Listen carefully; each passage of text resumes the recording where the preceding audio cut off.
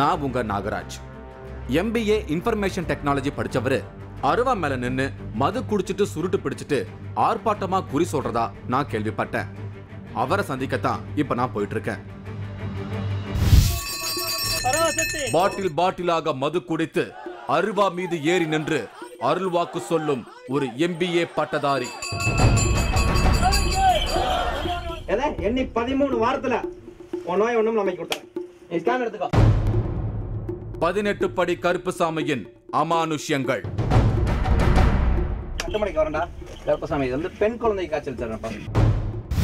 திருச்சி பக்கத்துல இருக்கிற நாகையநல்லூர் கிராமத்துக்கு தான் நான் இப்ப போயிட்டு இருக்கேன் அந்த ஊர்ல தான் கருப்புசாமி வாக்கு சொல்றதா சொல்லியிருந்தாங்க.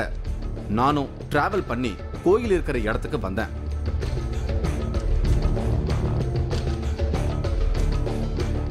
இதுதான் பதினெட்டு படி கருப்புசாமி கோயில் இருக்கிற இடம். இங்க அமாவாசை அன்னைக்கு தான் கருப்புசாமி ஒருத்தர் மேல இறங்கி வாக்கு சொல்றதா சொல்லியிருந்தாங்க. அதனால நான் அமாவாசை நாளா பார்த்து இன்னைக்கு தான் இங்க வந்திருக்கேன். நான் கோயிலுக்குள்ள போனேன். கோயில் கட்டுற வேலைகள் நடக்கிறதால தற்சமயத்துக்கு இந்த குடிசையில தான் வாக்கு சொல்றதா சொன்னாங்க.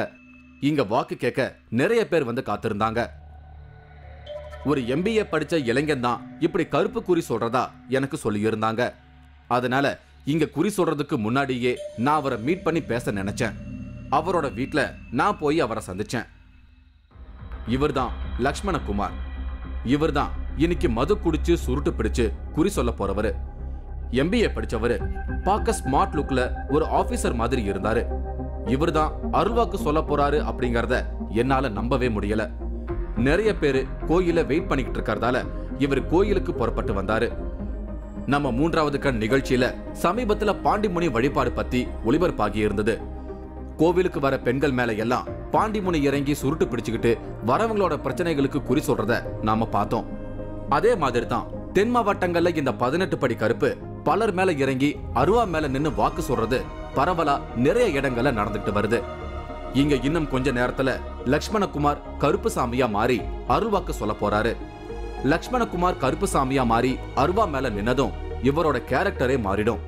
அப்போ மது குடிச்சுக்கிட்டும் சுருட்டு பிடிச்சுக்கிட்டும் வாக்கு சொல்வாருன்னு சொல்லியிருந்தாங்க அதுக்காக நானும் காத்துக்கிட்டு இருந்தேன். இன்னைக்கு அமாவாசை. இன்னைக்கு தான் பதினெட்டு படி கருப்புசாமி வந்து அருள் வாக்கு சொல்லும் நாள். கொஞ்ச நேரத்துல பூஜைகள் ஆரம்பமாச்சு. அங்க வந்திருந்தவங்க எல்லாரும் பூஜையில கலந்துக்கிட்டாங்க.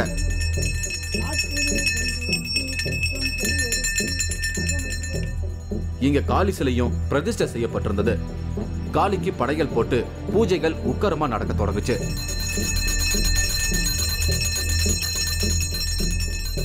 அங்க இருந்த சில பேர் கோழியை எடுத்துட்டு வந்து சாமிக்கு பலி கொடுத்தாங்க.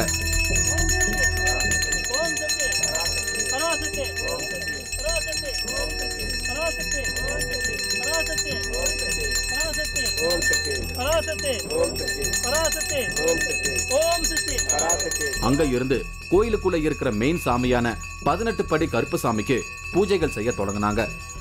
கருப்பு சாமிக்கு மதுவை படையலா வச்சாங்க. அங்க வந்திருந்த கூட்டத்துல ஒருத்தருக்கு அருள் வந்து ஆடத் தொடங்கிட்டாரு. பூஜைகள் ரொம்ப உக்கரமா நடந்துட்டு இருந்துச்சு. பூஜை செய்யும் லக்ஷ்மணகுமார் மேலையும் அருள் வரும்னு நான் ஆவலோட அவரை கவனிக்க தொடங்கினேன். அருவாவை காணுமேன்னு நினைச்சேன்.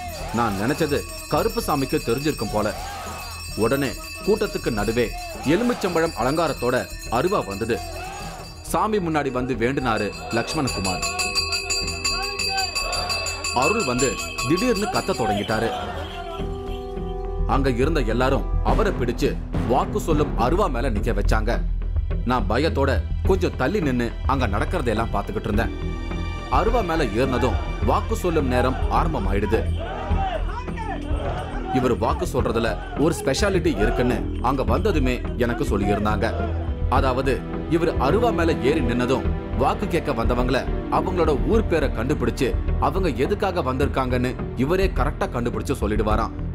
கருப்புசாமி வந்ததும் அவர் முன்னாடி ஒருத்தர் மைக்க பிடிச்சுக்கிட்டாரு. மைக்ல சில அறிவிப்புகளை செய்ய தொடங்கினாரு லக்ஷ்மணகுமார். வேற ஊரை கூப்பிட்டுமாடா கூப்பிடு சாமி. ஊருக்கு பேர் கருப்பசாமி. மறுபடி நாமக்கல் போயிருச்சுப்பா குறி ஒண்ணு. நாமக்கல். ஒரே ஒரே ஒரே உடனே. அங்க உட்கார்ந்திருந்த கூட்டத்துல ஒரு பகுதி மக்கள் ஓடி வந்தாங்க. அங்க இருந்தவங்க நிறைய பேரு நாமக்கல்ல இருந்து வந்திருந்தாங்க. அதுல எப்படி ஒருத்தருக்கு மட்டும் வாக்கு சொல்வாருன்னு நான் எதிர்பார்த்தேன். அவங்க என்ன பிரச்சனைக்காக வந்திருக்காங்கன்னு சொல்லி வந்திருந்தவங்கள ஆச்சரியப்பட வச்சாரு லக்ஷ்மணகுமார். ஓலமாவு கம்பெனியில் வேலை பார்க்குறாரா ஏதா? ஓலமாவு கம்பெனியில் வேலை பார்க்குற இவ்வளோ காலில் இவ்வளோ அதில் வந்து நான் கருப்பசாமி தள்ளிவா வேலையில் நிம்மதியை கொடுத்துட்றேன்ப்பா கை நிறையா தான் கருப்பசாமி செல்வத்தை அள்ளி கொடுத்துட்றேன் இதில் வந்து நான் இப்போ விட்டு போன அமௌண்ட்டை வந்து இப்போ வைகாசி மாதம் பதிமூணாம் தேதி வாங்கி கொடுத்தேன்ப்பா. ஏதா பதிமூணாம் தேதி உன் கை பணம் வந்து ஓடிப்போம் நான் கருப்பசாமி மறுபடியும் ஊருக்கு பேர் வந்துடுறா நாமக்கல்ல இருந்து வந்திருந்த தம்பதிக்கு குழந்தை இல்லைங்கிறதுக்காக வந்திருக்கிறதா கண்டுபிடிச்சு சொன்னாரு. எதுவா இருந்தாலும் சரி ஒரு வாரிசு உருவாக்கி கொடுத்துறேன்டா. கருப்பசாமி இது வந்து மீண்டும் ஒரு பெண் குழந்தைக்கு சான்ஸ் கொடுத்துறேன்டா. பெண் குழந்தை ஆனா பெண் குழந்தை மாறி போய் ஆண் குழந்தைக்கு சான்ஸ் கொடுத்துறேன்டா. மறுபடியும் ஆண் குழந்தை தான்டா. மறுபடியும்? ஆ பெண்ணுக்கு நான் சான்ஸ் கேட்டேன். அப்ப கருப்பசாமி இறங்கி வந்து சொல்லுது அவனுக்கு ஆண் குழந்தை மறுபடியும் சான்ஸ் கொடுத்துருந்துச்சு ஆனா பேர் வந்து ஆறுமுகம் தான் வைக்கணும். பேரு? ஆறுமுகம் தான் வைக்கணும்டா. சொன்னது நடக்கும்னு வரவங்களுக்கு கருப்புசாமி சத்தியம் செய்து உறுதிமொழி கொடுப்பதுதான். இங்க இன்னொரு ஸ்பெஷாலிட்டி இடத்துல போட்டுறா சரிம்மா போ. அருவா மேல நின்னுகிட்டு இருந்த லக்ஷ்மணகுமார் ஒரு கட்டத்துல கீழே இறங்கி அருள் சொல்ல ஆரம்பிச்சாரு. நான் பாத்துக்கிட்டு இருக்கும் போதே அடுத்த ஊர் பேரை கூப்பிட்டாரு கருப்புசாமி. அந்த ஊர் பேர் சொன்னதும் அங்க வந்திருந்த எல்லாரும் ஓடி வந்தாங்க. அதுல கேன்சர் இருக்கிற ஒரு பெண் மட்டும் வாங்கன்னு கருப்புசாமி சொன்னதும் நான் அதிர்ச்சி ஆயிட்டேன். ஆனா உடம்புல வந்து கொஞ்சம் கேன்சர் நோயோட இருந்துச்சு வந்துருக்கணும். ஒரே ஒண்ணு. அந்த பெண் சாமி முன்னாடி உட்கார்ந்தாங்க. உடம்புல வந்து அவங்களுக்கு கேன்சர் இருக்குன்னு கண்டுபிடிச்சது எனக்கு அதிர்ச்சியா இருந்தது. அத கருப்புசாமி கரெக்டா கண்டுபிடிச்சதும் அங்க இருந்த எல்லாரும் ஆரவாரப்படுத்தினாங்க. இவ்வளவு காலில் போ. அவங்களுக்கு டாக்டர் ஆபரேஷன் செய்ய சொல்லியிருந்தாரு. ஆனா அவங்க கருப்புசாமியை நம்பி இங்க மாத்திரையில சரியாகும்னு வேண்டிக்கிட்டு இருக்காங்க. இவங்க மனசுல நினைச்சத அப்படியே சொன்னதால தான் எல்லாரும் கைத்தட்டி இருக்காங்கன்னு எனக்கு அப்புறம் தான் புரிஞ்சுது. இப்பவே பார்த்தேன் ஆபரேஷன் பண்ணணும்ட்டேன். டாக்டர் வந்து கொஞ்சம் ஆபரேஷன் பண்ணணும்ட்டேன். ஆனா கேன்சர் வந்து நோய் நீ வந்து ஆபரேஷன் பண்ணா மாத்திரையில கிடைக்குமான்னு கேட்டு வந்திருக்கா. என்ன கேட்டா? இவ்வளவு காலில் இவ்வளவு அதுல வந்து கருப்பசாமி. உன் கேன்சர் நோய் ஒண்ணுமெல்லாம் பண்ணி போறேன் எதை? சாப்பிட இவங்களுக்கு இன்னொரு பிரச்சனையும் இருக்குன்னு கருப்புசாமி கண்டுபிடிச்சாரு. இவங்களுடைய கர்ப்ப பையில கட்டி இருக்கு. அத சரியா பதிமூணு வாரத்துல சரி பண்ணி தரதா கருப்புசாமி சத்தியம் பண்ணி கொடுத்தாரு. எண்ணெய் கருப்பசாமி எண்ணெய் பதிமூணு வாரத்துல உன் நோய் ஒண்ணும் அமைக்க கொடுத்தேன். நீ ஸ்கேன் எடுத்துக்கோ. இருந்தா இந்த மணியை பிடிச்சிக்காது போதுமா? சரிம்மா போ இந்த கனியை பயன்படுத்திக்கப்பா. அவங்களுக்கு மாத்திரைக்கு பதிலா எலுமிச்சம்பழம் வேப்பலையும் சாப்பிட கொடுத்தாரு. அந்த அம்மாவும் வாங்கி சாப்பிட்டு சாமியை வேண்டிக்கிட்டு அங்கிருந்து கிளம்புனாங்க. லக்ஷ்மணகுமார் எம்பிஏ இன்ஃபர்மேஷன் டெக்னாலஜி முடிச்சுட்டு அரசு வேலைக்கு ட்ரை பண்ணிட்டு இருந்திருக்காரு. இப்போ இவரு டிஎன்பிஎஸ்சி எக்ஸாமுக்கான ஒரு ட்ரைனிங் சென்டரையும் நடத்திக்கிட்டு வராரு. எம்பிஏ பட்டதாரியான இவர் உடம்புக்குள்ள எப்படி கருப்புசாமி வருதுன்னு எனக்குள்ள ஒரு கேள்வி எழுந்தது. நான் அவர்கிட்டயே கேட்டேன். இவர் சின்ன வயசுல இருந்தே கருப்புசாமியோட தீவிர பக்தரா இருந்திருக்காரு. அதனால இவரோட கனவுல கருப்புசாமி வந்து காட்சி கொடுத்திருக்கு. அந்த சம்பவம் இவருக்கு மறக்க முடியாத அனுபவமா இருந்திருக்கு. அது இப்பவும் என்கிட்ட சிலிர்ப்போட பேசினாரு. சிறு வயதிலிருந்தே அதாவது நான் சின்ன குழந்தையிலேருந்தே கருப்பசாமி கும்பிட்றது வழக்கம். நான் வந்து கருப்பசாமியோட தீவிர பக்தன்னு சொல்லலாம். தீவிர பக்தனாக இருக்கும்போது என்னோட சின்ன வயசு அதாவது பதினாலு வயசில் குறிப்பாக ஒரு பதினாலு வயசு இருக்கும்போது அவர் வந்து எனக்கு வந்து என்னோட நாக்கில் வந்து காட்சி அளித்து எழுதினார். என்ன அப்படின்னு கேட்டிங்கன்னா அவரோட பிறப்பிடம் வந்து இந்த கொள்ளிடம் காவேரி தான். இந்த கொள்ளிடம் காவேரி கரையில் எனக்கு ஒரு கருப்பசாமி ஆலயம் அமைக்கணும் அப்படிங்கிறது அவரோட வாக்கு. அப்போ அது எனக்கு சின்ன வயசில் தெரியல. அப்போ எனக்கு காட்சி அளித்து கொடுத்துருந்தாரு. என்னோட இருபத்தி ஏழாவது வயசு வரும்போது நீ வர வரக்கூடிய மக்கள் அனைவருக்கும் இந்த கருப்பசாமி கோவிலை கட்டி எந்த விதமான பிரச்சனைகள் இருந்தாலும் மக்கள் வந்து நிறைய பிரச்சனைகள் வராங்க இன்றைக்கி எந்த விதமான பிரச்சனைகள் இருந்தாலும் இன்றைக்கி வந்து பார்த்தோம்னா குழந்தைகள் இல்லை திருமண தடை வந்து தொழில் விருதி இல்லை அப்படின்னு வரக்கூடிய அனைவருக்கும் நீ எடுத்து கொடுக்குற விபூதியும் நீ சொல்லக்கூடிய வாக்கும் அது பழிக்கும். நான் இருந்து உனக்கு அனைத்து பிரச்சனைகளையும் தீர்த்து வைப்பேன். நீ கூப்பிட்ட நேரத்துக்கு நான் வருவேன்னு சொல்லி எனக்கு சின்ன வயசில் பதினாலு வயசில் எனக்கு நாக்கில் எழுதி வாக்கு எடுத்து கொடுத்தாரு. சின்ன வயசுல தனக்கு கிடைச்ச அமானுஷ்ய அனுபவத்தை பெரிய விஷயமா எடுத்துக்காம இவர் படிப்புல கவனம் செலுத்தி இருக்காரு சின்ன வயசுல இருந்தே அரசு வேலைக்கு போகணுங்கிறது தான் இவரோட லட்சியமா இருந்திருக்கு. ஆனா எவ்வளவுதான் படிச்சும் தொடர் தோல்வி மட்டுமே கிடைச்சிருக்கு. ஒரு கட்டத்துல மனம் உடைஞ்சு போயிருக்காரு லக்ஷ்மணகுமார். அப்பதான் ஒரு நாள் திருச்சி கொள்ளிடம் ஆத்தங்கரைக்கு போய் உட்கார்ந்திருக்காரு. அங்க இவருக்கு ஒரு அமானுஷ காட்சி கிடைச்சிருக்கு. அதாவது என்ன கேட்டிங்கன்னா வாழ்க்கையோட விரக்தின்னு சொல்லிட்டு எல்லாத்துக்குமே சில விஷயங்கள் இருக்கும். ஸோ இப்போ வந்து பார்த்தோம்னா நமக்கு வந்து பார்த்தோம்னா படிப்புகள் ஏறிட்டு இருக்கு. வீட்டில் இருக்கக்கூடிய சூழ்நிலைகள் கஷ்ட நிலைகள். நமக்கு எதுவுமே செட் ஆகலையே அப்படின்னு சொல்லிட்டு என்னடான்னு சொல்லி குழப்பத்தில் போய் நான் ஆற்றுல உட்காந்துருந்தேன் காவேரி கரையில். சில விஷயங்கள் தவறாக நடக்கும்போது மனக்குழம்பி தான் போய் வந்த இடத்துல ஆற்றுல உட்காந்துருந்தேன் எதுதான் நம்ம செலக்ட் ஆகும்? ஏன்னா கிட்டத்தட்ட நம்ம கவர்மெண்ட் எக்ஸாம் படித்து எழுதிக்கிட்டு இருக்கோம். வரலையே. அந்த ஒரு மனக்குழப்பம். என்ன பண்ணலாம்? ஏது பண்ணலாம்னு போய் வந்து மனக்குழப்பத்தில் போய் நான் ஆற்றுல உட்காந்து உட்காந்து யோசிக்கும் போது தான் எனக்கு வந்து நான் இருக்கேன்ப்பா நீ நீ தெரியுமா இரு அப்படின்னு சொல்லி ஒரு அருள்வாக்கு கொடுத்தாங்க. உங்கள் கண்களுக்கு மட்டும்தான் அது தெரிஞ்சாங்களா அவங்க? ஆமாம் என்னோட கண்களுக்கு தெரிஞ்சாங்க. அதுக்கப்புறம் நான் இடையில பூஜை பண்ணும்போது என் கூட இருக்கவங்களும் பார்த்துருக்காங்க. அதாவது என் கூட இருக்கவங்க இரு ஒரு இரு நபர்கள் வந்து நான் அதாவது யாருமே இல்லாத இடத்துல தான் அந்த பூஜை பண்ண முடியும். எல்லாத்துக்குமே காட்சி அளிக்க முடியாது. ஒரு சில டைம் வந்து நான் இரவு நேரங்களில் தான் பூஜை பண்ணிட்டு இருக்கேன்.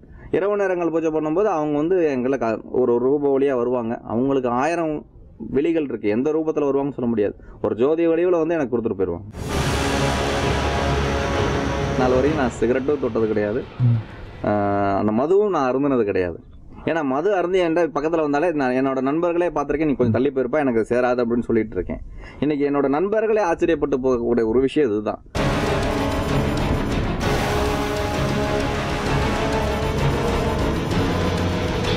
ஆச்சி மசாலா வழங்கும் மூன்றாவது கண் இடைவேளைக்கு பின் தொடரும்.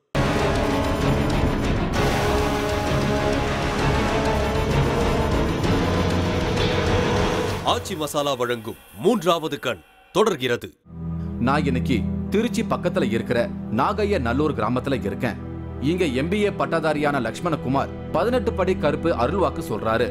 அருவா மேல நின்னு பாட்டில் பாட்டிலா மது குடிச்சபடி இவர் சொல்ற அருள்வாக்கு ரொம்பவே வித்தியாசமானதா இருக்கு. இவர் வழக்கமா போற தன்னோட குல தெய்வமான மதுரை பதினெட்டு படி கருப்பசாமி கோயிலுக்கு போயிருக்காரு. அங்க நடந்த ஒரு அமானுஷ நிகழ்வு இவரை முழு நேர வாக்கு சொல்றவரா மாத்தி இருக்கு பதினெட்டாம் படி கருப்பசாமி கோயிலில் போய் நான் சாமி கும்பிடும்போது ஒரு ஆளுக்கு சாமி வந்து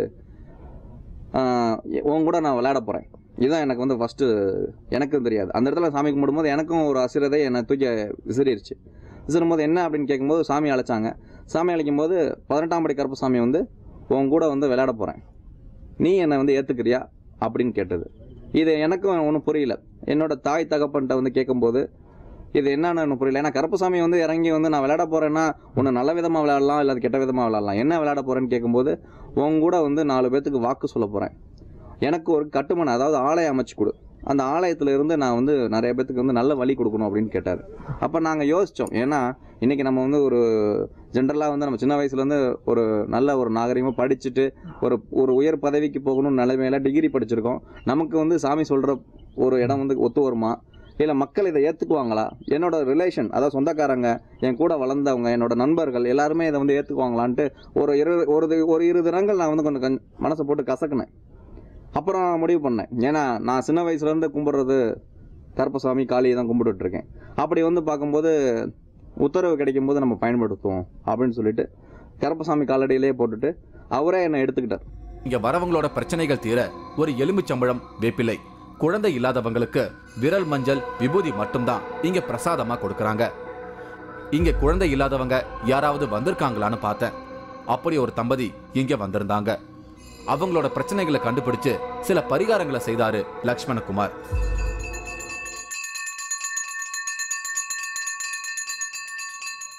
ஓம் விநாயகா மூசிக வாகனம் தொட்டியத்த மதுரகாளி சோழியம்மா சமயபுரத்து மாரியம்மா ஆல்முக வரந்தரம் ஸ்ரீ பதினெட்டாம் படி கற்பசாமி மயில்வான் தந்த முருகா விலவா அரே ராமா அழகுமலை மாயாவோதரா கருப்பசாமி அந்த பதினாலு வயசில் என் கூட வந்து விளாண்டு என் நாட்கள் எழுதின வாக்கு மையா இருந்தா. நம்ம நாடி வரவங்களுக்கு என்ன ஏதுன்னு கண்டறிஞ்சு இதிலிருந்து வெற்றியாக்கி கொடுன்னு என்னை தட்டி எழுப்பி உத்தரவிட்டது மையா இருந்தா. நான் கூப்பிட்றேன்ப்பா நீ எந்த வேலையில் கூப்பிட்டாலும் எந்த முகத்தில் கூப்பிட்டாலும் நான் வருவேன்னு சொன்னியே. அந்த மகாகாளி.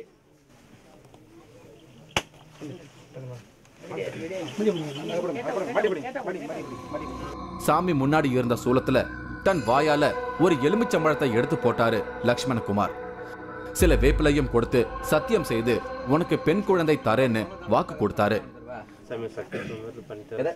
கட்டுமலைக்கு வரண்டா கருப்பசாமி இது வந்து பெண் குழந்தை காய்ச்சல் தரேன்ப்பா. எதை? இதுல இருந்து பெண் குழந்தை காய்ச்சல் சொன்னப்பா தென் மாவட்டங்கள்ல நிறைய பேருக்கு கருப்புசாமி கருப்பாயி அப்படி பேர் வச்சு கூப்பிடுறத நாம பார்த்திருப்போம். அது எல்லாமே இப்படி கருப்புசாமி அருளால குழந்தை பிறந்தா அந்த பெயர்களை குழந்தைக்கு வைக்கிறது வழக்கமாகியிருக்கு. இங்க வந்த தம்பதிக்கு வாக்கு சொல்லி முடிச்சதும் அவங்கள நான் சந்திச்சு பேசினேன். இவங்க பரிமளா தேவி வெள்ளக்கோயில இருந்து வராங்க. இவங்களுக்கு திருமணமாகி குழந்தை இல்லாம இருந்திருக்காங்க. இங்க வந்து வாக்கு கேட்க உட்கார்ந்திருந்த போது அதை அருள் வாக்கு சொல்லும் லக்ஷ்மணகுமார் கரெக்டா கண்டுபிடிச்சதை பத்தி என்கிட்ட ஆச்சரியத்தோட பேசினாங்க. என்ன சொன்னார் உங்களுக்கு? உங்களுக்கு என்ன சொன்னார்? கூப்பிட்டு இந்த மாதிரி வெள்ளை கோயில் கூப்பிட்டாரு வெள்ளை கோயில் வந்து வாங்க அப்படின்னாங்க. உங்களுக்கு குழந்த வர கேட்டு தானே வந்திருக்கிறேன்னு கரெக்டாக சொன்னாங்க. ஆமாங்க அப்படின்னு. அப்புறம் எத்தனை வருஷம் நாங்கள் ரெண்டரை வருஷம் முன்னே. அப்புறம் சரி நான் குழந்த வர ஏற்படுத்தி கொடுக்குறேன். என்ன பண்ணுறீங்கன்னு கேட்டாங்க. நாங்கள் எங்களால் முடிஞ்சது செய்கிறேங்க சாமி அப்படின்ட்டு அடுத்த வருஷம் பெண் குழந்தை கண்டிப்பாக கொடுக்குறேன் அப்படின்னு சொல்லியிருக்கிறாங்க. நீங்க பெண் குழந்தை தான் கேட்டீங்களா? நான் பெண் குழந்தை தான் கேட்டேன். எனக்கு பொண்ணுன்னா ரொம்ப பிடிக்கும். அதனால் நான் பெண் குழந்தை தான் கேட்டேன். அப்புறம் மடிப்பிச்சை எடுத்து அது ஏதோ கொடுத்தாரு அது வந்து கன்ஃபார்ம் ஆகணும். ஒன் மந்தில் கன்ஃபார்ம் ஆகணும் அப்படின்னு சொல்கிறதுக்காக மஞ்சள் மஞ்சள் வேப்பிலை எலுமிச்சம்பழம். எலுமிச்சம்பழம் அப்போவே சாப்பிட சொன்னாங்க. அப்புறம் வேப்பிலை ஒவ்வொன்றும் எடுத்து சாப்பிட சொன்னாங்க. மஞ்சள் வந்து டெய்லி காலையில் குளிக்கிறப்போ அரைச்சி தேய்க்கணும் அப்படின்னாங்க. ஏழு நாளுக்கு. விடாமல் பண்ணுங்க அப்படின்னாங்க. இவங்க அரசு வேலைக்கு ட்ரை பண்ணிட்டு இருந்திருக்காங்க. அதையும் இங்க கரெக்டா கண்டுபிடிச்சு சொன்னதும் தான் ஆச்சரியமான விஷயமா இருந்தது. இப்போ வந்து கவர்மெண்ட் வேலைக்கு ரெடி பண்ணலாமாடா? பேச. கவர்மெண்ட் வேலைக்கு ரெடி பண்ணுவோமா? இந்த கோயில்ல செய்வினை கடன் பிரச்சனை சொத்து விவகாரம் இப்படி இங்க வர எல்லாருடைய பிரச்சனைகளும் சரியானதா இங்க வரவங்க சொல்றாங்க.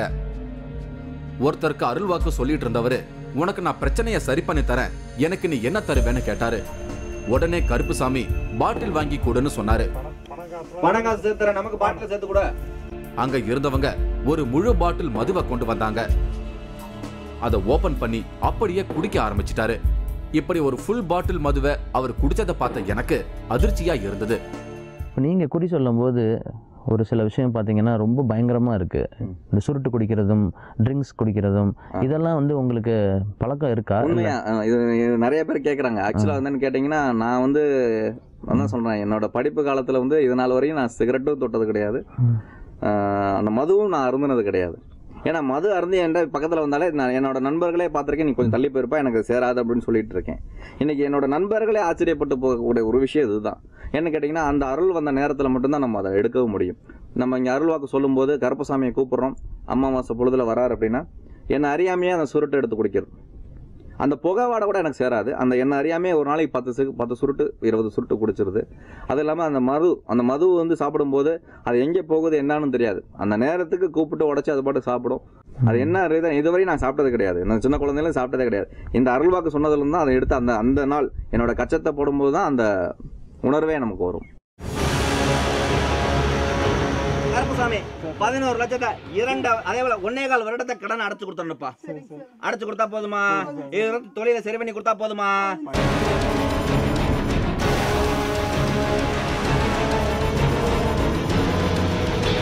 ஆச்சி மசாலா வழங்கும் மூன்றாவது கண் இடைவேளைக்கு பின் தொடரும்.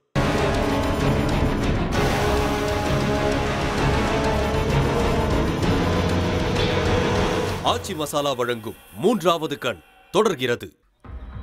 இன்னைக்கு நான் திருச்சி பக்கத்துல இருக்கிற நாகைய நல்லூர்ல இருக்கேன். எம்பிஏ பட்டதாரி லக்ஷ்மணகுமார் கருப்புசாமியா மாறி அருள்வாக்கு சொல்ற ஆச்சரியங்களை தான் இன்னைக்கு நான் பார்த்துக்கிட்டு இருக்கேன். மறுபடியும் பரமத்தி வேலூர் வச்சுப்பா புரிய ஒண்ணு. பரமத்தி வேலூர். கருப்பசாமி நம்மள சொசைட்டில கணக்கு எழுதுறாங்க. எதை? ஆனா கணக்கு எழுதி கணக்கு எழுதி கை பேனாவும் தேர்ந்து போச்சு கையும் தேஞ்சு போச்சு. ஆனா வேலையில திருப்தி இல்ல பாயிண்ட் ஒண்ணு. நான் சொல்ல புரியுதா?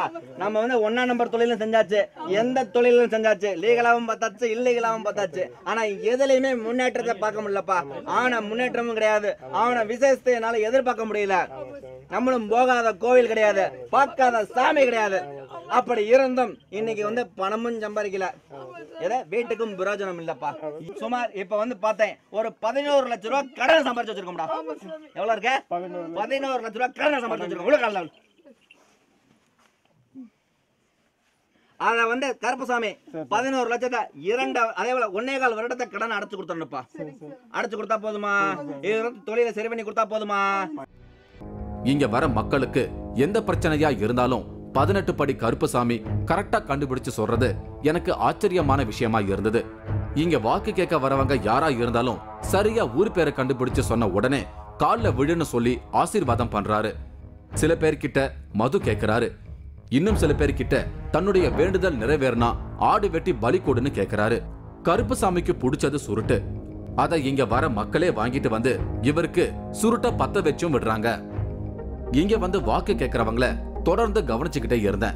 அதுல முஸ்லிம் பெண் ஒருத்தர் இங்க வாக்கு கேட்டாங்க. அவங்கள சந்திச்சு பேசினேன். இவங்க சர்மிளா பானு. திருச்சியில இருந்து வராங்க. இவங்க அக்குப்பஞ்சர் ட்ரீட்மெண்ட் பண்றாங்க. கோயிலில் சொல்கிற விஷயம் வந்து அருவாமையில் ஏறி சாமி சொல்கிறது நாங்கள் இது வரைக்கும் பார்த்ததே இல்லை. இங்கே தான் வந்து பார்த்துருக்கோம். கரெக்டாக சொல்கிறார் உங்கள் கஷ்டத்தை சொல்லும்போது உங்களுக்கு எப்படி இருந்தது? திடீர்னு எங்களுக்கு ஆச்சரியமாக இருந்துச்சு. கரெக்டாக சொல்கிறாரே நேரில் பார்த்த மாதிரி சொல்கிறாரே நாங்கள் முஸ்லீம் மதம் கரெக்டாக கண்டுபிடிச்சிட்டாரு அப்படின்னு சொல்லி எங்களுக்கு உண்மையாலுமே எப்படி இவர் சொன்னாருன்னு தெரியலையே. அப்படியே இவர்கிட்ட ஏதோ ஒரு சக்தி இருக்குதுன்னு எங்களுக்கு அப்போ தான் நம்பிக்கை வந்துச்சு. ஆனால் நாங்கள் வந்துட்டு போனதுக்கப்புறம் அக்குப்பஞ்சர் ஹாஸ்பிட்டல் வைக்கிறது அது வரைக்கும் எனக்கு மைண்ட்லேயே இல்லாத மாதிரி இருந்தது. ஒரு ஒம்பது மாதமே வீட்டில் ஏதோ சும்மா வீட்டு வேலை அந்த வேலை தான் செஞ்சுட்டு இருந்தேன். வைக்கணுங்கிற எண்ணமே இல்லாமல் இருந்துச்சு. இப்போ இங்கே வந்துட்டு போய் இந்த ஒரு அம்மாசிக்குள்ளேயே இப்போ எனக்கு என்ன என்கிட்ட பார்த்த பேஷண்ட்டே வந்து அவங்களே சொந்த செலவில் எனக்கு அட்வான்ஸு இதெல்லாம் கொடுத்து எனக்கு கிளினிக் ஓப்பன் பண்ணி கொடுக்குறேன். நீங்கள் வர வருமானத்தில் எனக்கு கட்டினா போதும்னு இந்த ஒரு அமாவாசைக்குள்ளே எனக்கு சொல்லியிருக்காங்க. சமீபத்தில் தான் திருவண்ணாமலையில் அருள்வாக்கு சொல்லும் என்ஜினியரை பற்றி நம்ம மூன்றாவது கண் நிகழ்ச்சியில் பார்த்தோம். அந்த வரிசையில் எம்பிஏ படித்த லக்ஷ்மணகுமார் கருப்புசாமி அருள்வாக்கு சொல்கிற காட்சி ரொம்பவே ஒரு வித்தியாசமான அனுபவமா இருந்தது.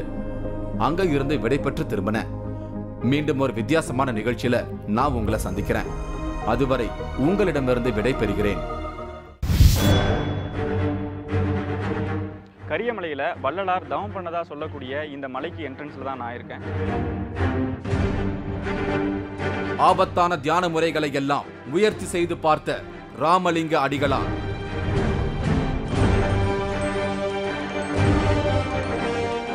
உடம்ப வந்து ஒவ்வொரு கை ஒரு பக்கம் கால் ஒரு பக்கம் தலை ஒரு பக்கம் இதெல்லாம் ஒரு ஒரு பக்கமாக கிடக்கும்.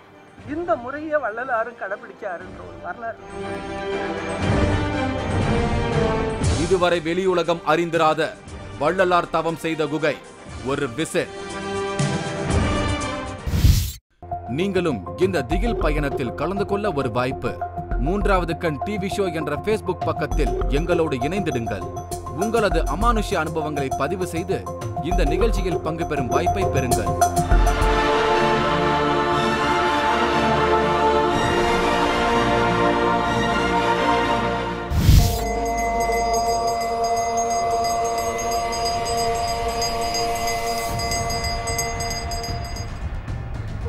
என் சொத்து பூராமல் வந்து அண்ணன் வச்சுருக்கேன்.